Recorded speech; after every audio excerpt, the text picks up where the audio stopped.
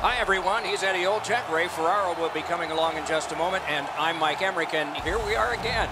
It's back-to-back -back games, and so there hasn't been much time to rest. As a coach, how do you manage everything?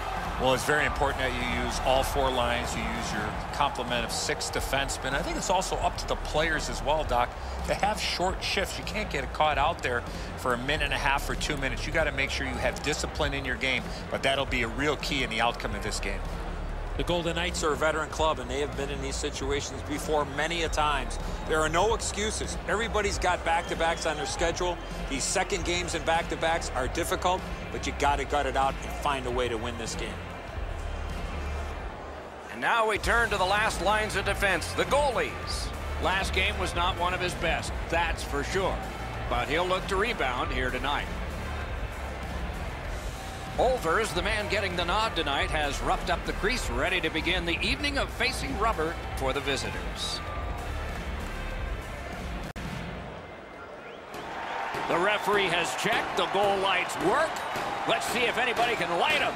McDavid sent to the big center ice circle for Edmonton. Wandell's his opposite number for the Golden Knights. Right in front. Score! They strike early and quiet the crowd. 1 nothing.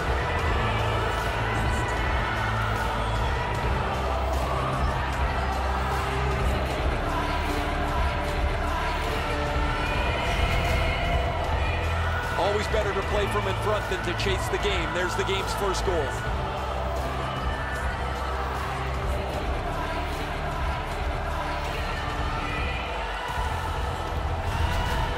We knew the scoreless tie would be broken.